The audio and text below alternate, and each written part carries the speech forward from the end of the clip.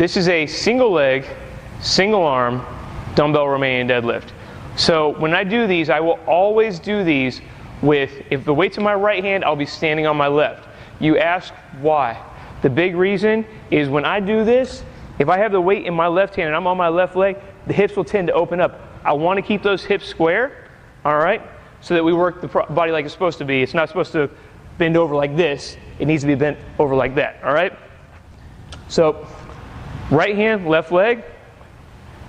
Here, hips square to the ground. Stand back up, squeezing the butt. Reach for the uh, wall behind you with the back foot, push through that heel. Stand up, squeezing the butt. And remember, don't reach for the ground with this hand. Keep that shoulder back, all right? It's a single leg dumbbell Romanian deadlift.